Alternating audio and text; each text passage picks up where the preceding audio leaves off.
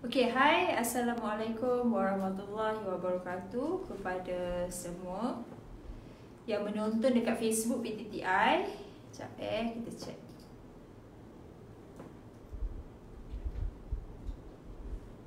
Okay, kena atas lagi sikit. Sekejap eh, kita adjust sikit.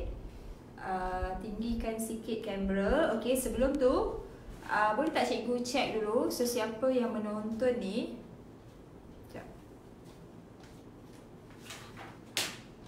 sesiapa yang menonton ni minta tolong komen dulu adakah sound jelas? Facebook PTTI eh? So basically hari ni uh, cikgu nak jawab uh, dua soalan yang diterima daripada student.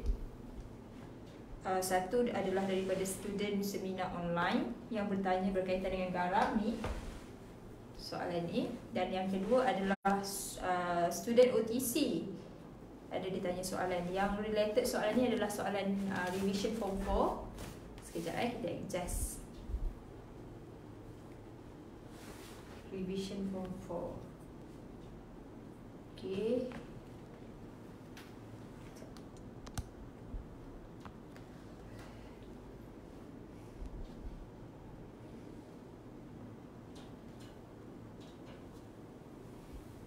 Jelas eh? Uh, Rose Yanti uh, sebelum naikkan lagi? Uh, sebelum tu kita test dulu. Uh, kalau jelas minta tolong komen jelas dekat bawah. Kita ada Husniyah, Rosyanti, Izzat Mustaqim dan juga jangan lupa tag kawan-kawan. Uh, sebelum cikgu start uh, ada dua soalan yang cikgu nak jawab hari ini uh, related dengan uh, topik yang pertama adalah garap topik form 4 dalam kimia SPM kalau ada ibu bapa yang menonton kat sini kalau ada uh, ibu bapa yang menonton dekat sini mungkin boleh tag anak masing-masing. Okey, ke depan sikit. Ke depan sikit sebab dia tak nampak. Boleh tag anak masing-masing ke depan sikit. Eh. Hai Ahmad Danish, hai Arisa. Sudah makan ke belum? Sudah makan. Jelas eh? Sekejap.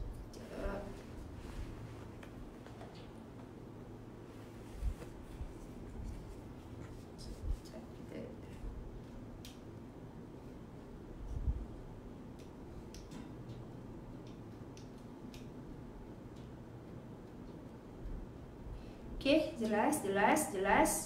Okay, minta tolong komen dulu dekat bawah tag anak masing-masing, tag kawan masing-masing ataupun boleh uh, copy link ni. Copy link, kejap cikgu bagi link. Copy link ni bagi dekat kawan-kawan untuk dia turut serta uh, join kita punya session ni sebab cikgu nak share uh, topik garam. Ini adalah ini adalah soalan trial yang mana soalan bagi dekat kita cat ion Sekejap, cikgu draw. Okay, dia bagi macam ni. Lepas tu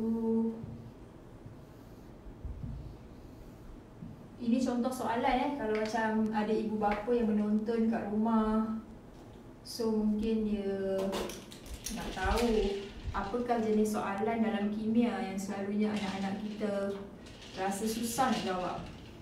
Ini adalah antaranya. Tapi sebenarnya tak susah pun. Sekejap.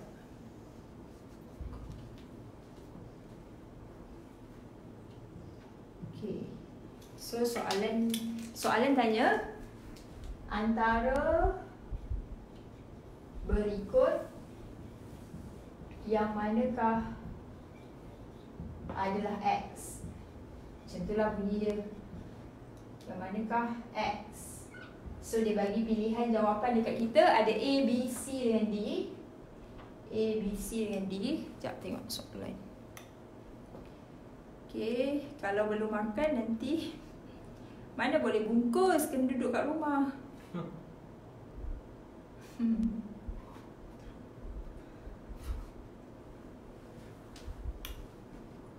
Okay, Mg 2 plus A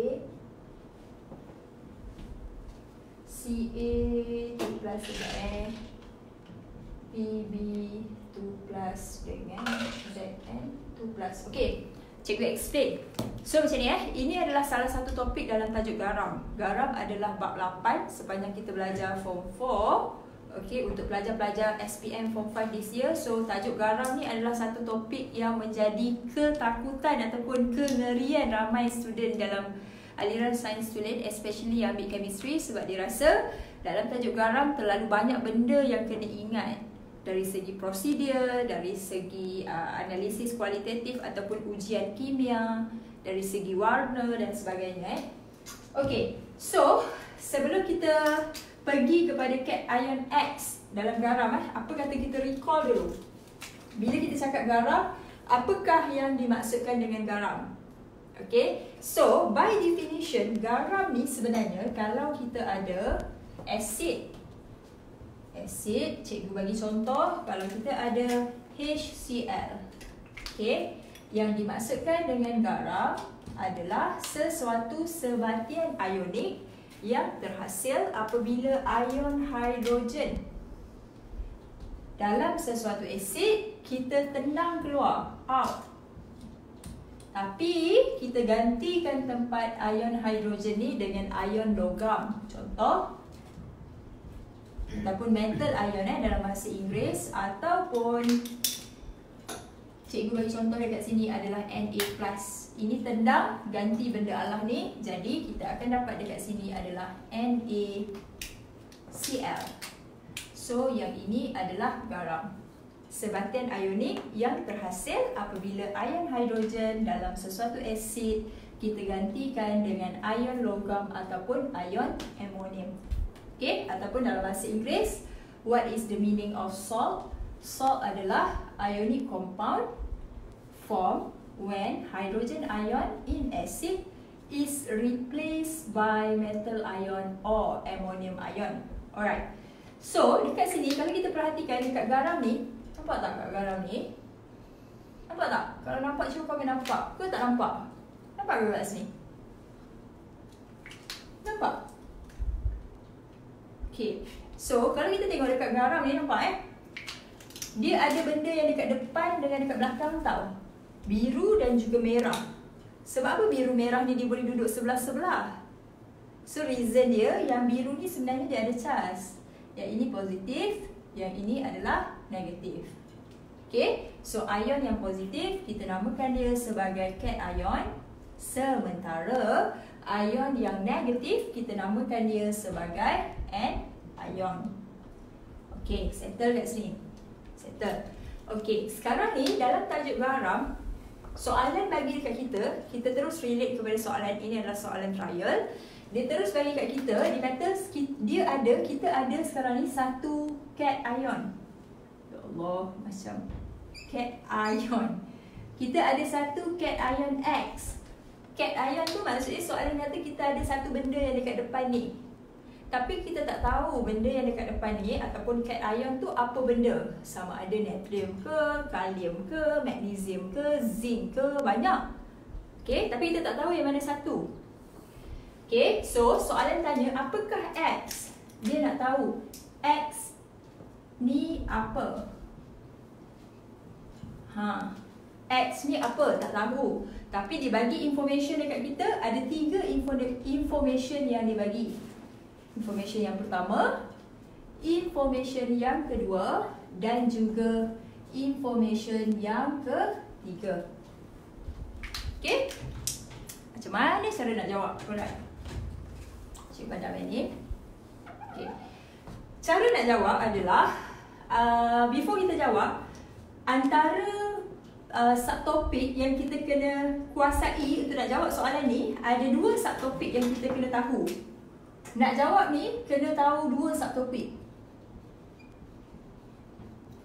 Cikgu boleh je terus bagi jawapan. Tapi cikgu ataupun saya sendiri sebenarnya concern dia bukan kita terus nak pergi kepada jawapan tapi kita nak explain kenapa jawapan dia adalah sekian-sekian supaya next nanti bila dalam SPM kalau soalan tak naik sebiji yang macam ni tapi kefahaman kita untuk menjawab soalan ni kita boleh gunakan untuk nak jawab soalan-soalan yang lain. Uh, in fact, dekat PTTI sebenarnya itulah konsep kita. Kita bukan direct terus nak bagi oh jawapan dia adalah A, B, C, D macam tu tak. Tapi kita nak uh, konsep ataupun kefahaman kenapa jawapan tu macam tu setiap student tu dia boleh faham. Okay. Now, cikgu kata, kita nak tahu kan cat ayam ni apa benda? Semua okey lagi ke kat rumah tu? Petang-petang ni kalau okey cuba komen sikit okey kat bawah. Sekejap cikgu baca.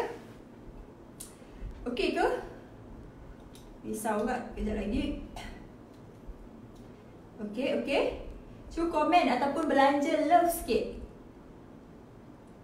Cuba komen ataupun belanja love sikit sebelum cikgu continue. Okey ke?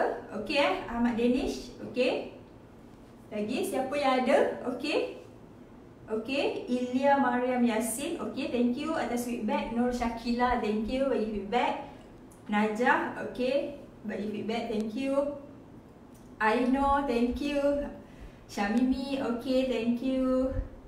Haza, Hazaha, Hashim, okay. AK, okay. Typo eh. Najah, saya okay. Alright. Esther, yes, Esther. Saya kenal Esther. Syamimi, Amir Mustaqim, okay je. Nurin Jazlina, yes, okay je. Alright. So, Kasih Wildani. Alright, thank you, thank you atas feedback. Alright. So, nak jawab soalan ni cikgu kata, kita kena tahu dua subtopik. Yang pertama, kita kena tahu subtopik. Subtopik yang pertama adalah basic.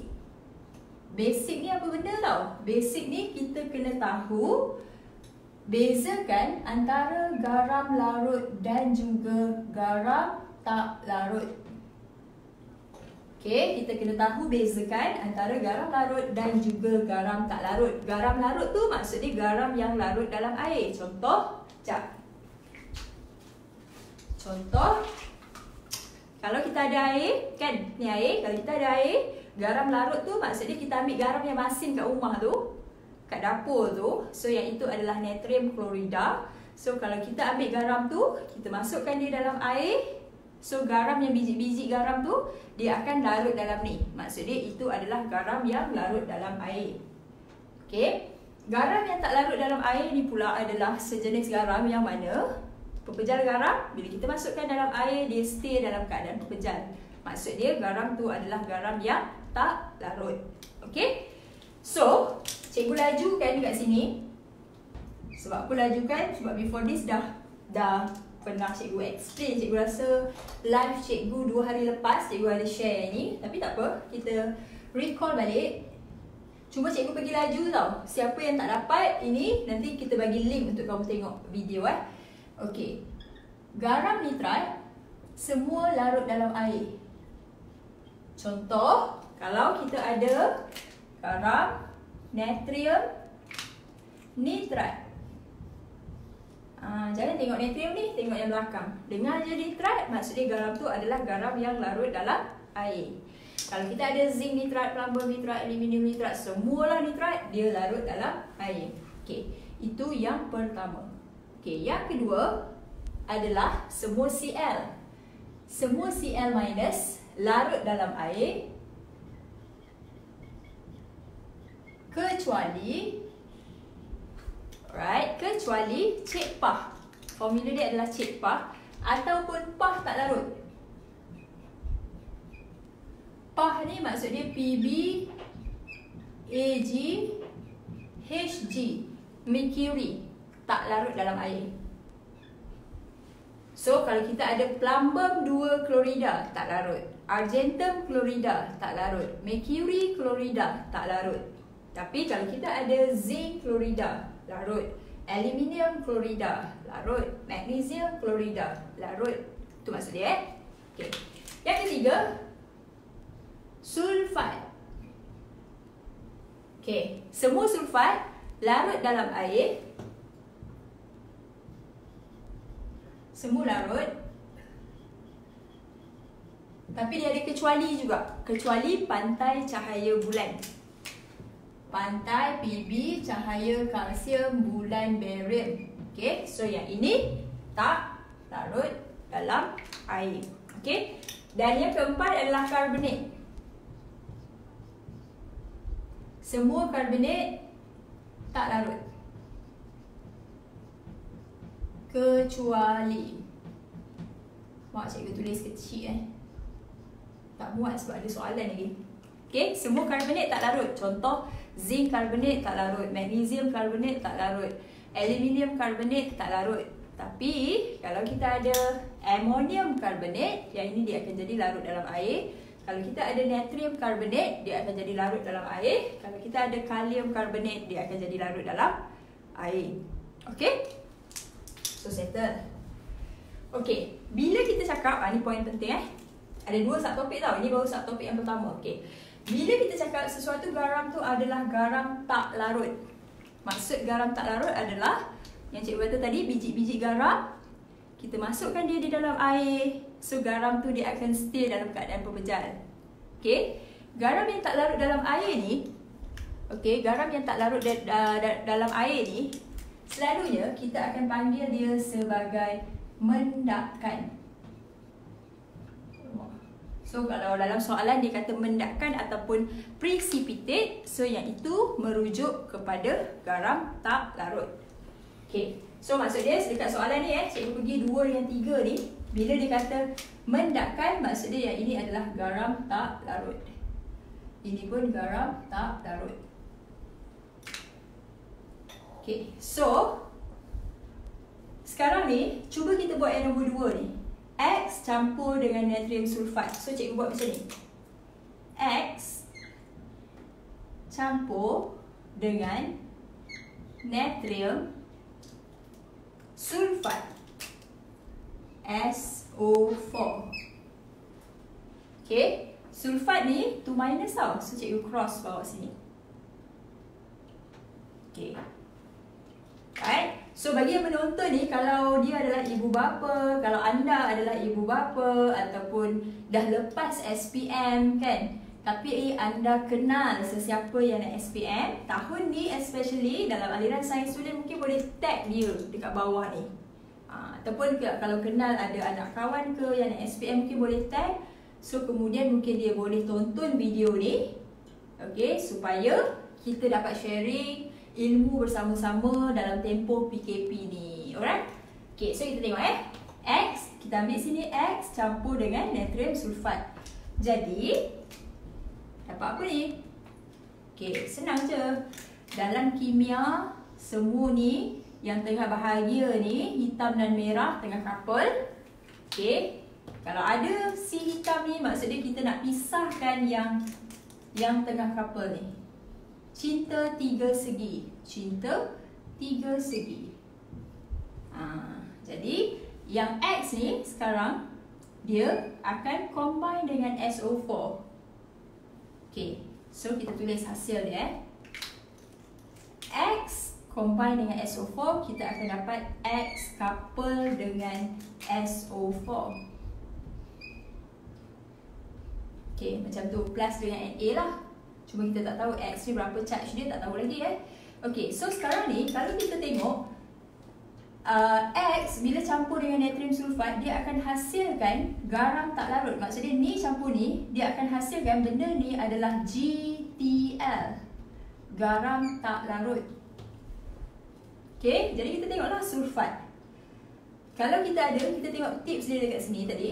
Semua sulfat larut dalam air kecuali pantai cahaya bulan. Maksud dia sebab soalan bagi eh, ni campur ni, ni campur ni dia hasilkan garam tak larut.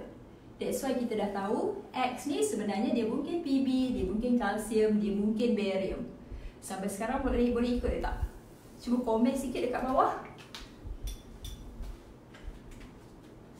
Okay, cuba komen sikit kat bawah. Sampai sini. Okay. Alif Azri ada eh. Okay, so far cikgu baca komen ni. Nasha. Ilya, boleh eh? Boleh, boleh, boleh. Syamimi, boleh? Ahmad Danish, okay, boleh eh? Cikgu tak tengok yang ni dulu tau. Cikgu tengok yang ni. So, kita dah settle ni. Done. Dah settle. Cuma ni kita tak tahu yang mana satu. B. PB ke CA ke BA? Ni dah salah. Ni dah salah. So sekarang ni tengah confuse ni. Antara B ke C. Okay. Kita tengok pula dekat asid hidroklorik. buat method yang sama. Mungkin yang dekat rumah tu boleh test dekat cikgu. Cuba buat method yang sama. X campurkan dengan ni pasangan bahagia ni. HCl. Lepas tu pisahkan dia. Cuba try. Sementara cikgu pada whiteboard ni.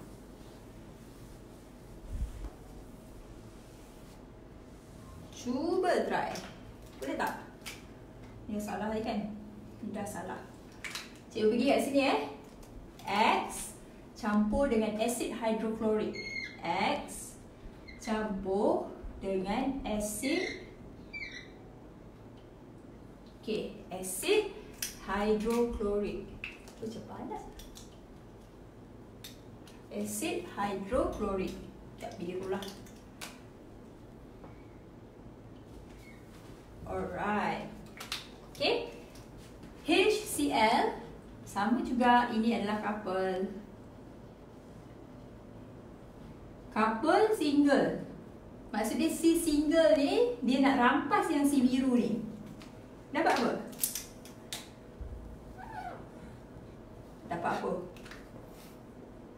Dapat apa? Cikgu rasa kan yang tak ambil chemistry pun kalau ada ibu bapa ke yang menonton pun boleh jawab. Simple je sebenarnya. Ah, dah dapat jawapan.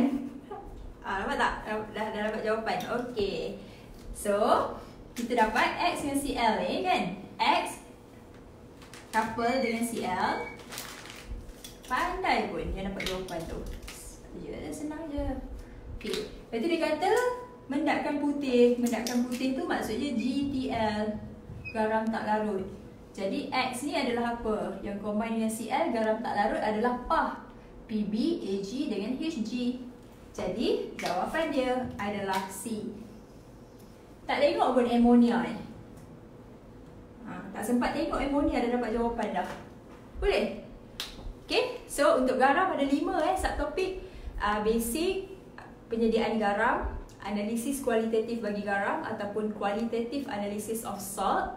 Lepas tu kita ada analisis kuantitatif bagi garam dan juga kesan haba bagi garam. So basically dalam tajuk garam ni cikgu cover hari tu dalam seminar online kuasai A Plus Science Student SPM. Ha, that's why lah peserta-peserta seminar online tu tanya soalan ni dalam tajuk garam. So tadi cikgu rasa macam daripada cikgu nak explain, nak explain dalam bentuk ayat tu susah tau. Kenapa tak? Kalau nak type ni cikgu rasa setengah hari baru siap karangan tu. Kalau kalau terus cakap macam ni ha senang dapat belajar banyak benda. Itulah beza dia buku rujukan dengan video. Ha. Maksud cikgu buku rujukan tu dia tak boleh bercakap. Jadi kalau kita baca tu maksud dia kena baca banyak kali, terms-terms kena faham. senang eh Syamimi. Macam tu rupanya, oh kamu ke yang tanya Hilmi Faizal? Ya, macam tu je dia uh, Hilmi eh? Next nanti bila jumpa soalan kan kalau dia bagi natrium sulfat terus jadikan dia macam ni. Natrium sulfat. Ha buat dua macam ni. So x lepas tu barulah buat. Macam macam cara cikgu ni. Okay? So settle. Cikgu nak jawab lagi satu soalan sebenarnya? Ke dah settle? Senang je Ya Allah, senang je. Most of the soalan sebenarnya senang. Kan? Senang je.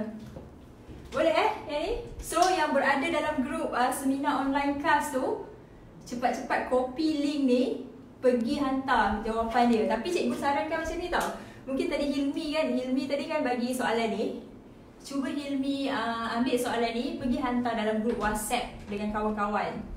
Cakap, "Eh, jom uh, cuba try buat soalan ni." So cikgu percaya juga ramai kawan-kawan Hilmi ke ataupun yang berada dekat luar sana bila tengok soalan bentuk kat atas ni tadi, dia terus macam hang kejap tau. Macam mana eh nak jawab? Bagi kat dia dulu, biar dalam 15 minit biar dia hang dulu sekejap. Then after that, bagi link video ni, cakap, ah, cuba tengok. Supaya apa tau? Dia bukan terus dapat jawapan cikgu tak concern kepada jawapan ni? So cikgu lebih concern kepada the way kita nak jawab dan juga information yang kita dapat. Oh kita dah tahu sebenarnya garam larut apa list dia. Macam mana cara nak tengok. Okay, so cikgu rasa cikgu save lah satu lagi soalan kepada next session lah eh. sebab ada pelajar-pelajar OTC uh, Form 5 hari ni dia ada kelas kejap lagi bio So cikgu tak nak dia berada dalam keadaan dilema Kejap nak tengok cikgu Fana ke nak tengok bio. Okay so cikgu bagi laluan untuk pelajar OTC Kelas bio sekejap lagi ke? Dah sudah start eh? Oh dah start dah pukul ni kan? Okay, so bagi uh, student yang berada dekat luar sana, if anything uh, yang PTTI boleh support, uh, boleh uh, DM kita ataupun boleh PM kita. Uh, macam semalam kita baru launch seminar online, program result ataupun SOP yang kita akan adakan pada 3 hingga 5 April lah secara online tau. Maksudnya kalau duduk kat Sabah boleh join, kalau duduk Sarawak boleh join, kalau duduk kat Johor boleh join, duduk kat mana-mana pun boleh join. Janji internet connection kena kuat. Alright, so kalau nak dapatkan any information ataupun apa yang team PTTI boleh support, uh, boleh PM kita, boleh komen juga dekat ruangan bawah ataupun boleh DM kita dekat Instagram. Okay, so thank you bagi yang bertanya soalan dan thank you juga untuk yang uh, join sesi live cikgu hari ni. Nanti kita berjumpa lagi dalam next session. Bye!